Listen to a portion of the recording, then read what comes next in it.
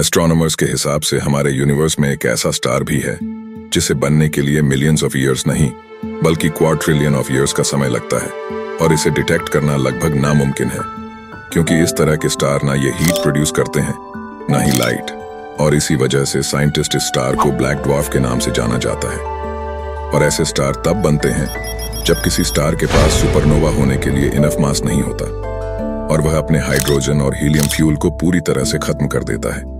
जिससे वह star white dwarf में बदल जाता है। लेकिन फिर भी व्हाइट ड्वार्फ काफ़ी वक्त तक लाइट और हीट एमिट करता रहता है। लेकिन जब यह प्रोसेस खत्म हो जाता है तो ये व्हाइट ड्वार्फ एक ब्लैक ड्वार्फ में बदल जाता है।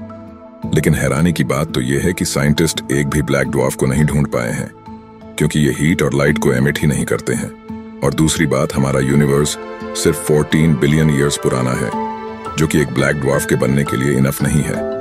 सिर्फ़ हमारे पेज पर ही आपको ऐसी जानकारी मिलेगी जो कहीं नहीं मिलती। तो फॉलो या सब्सक्राइब करना ना भूलें।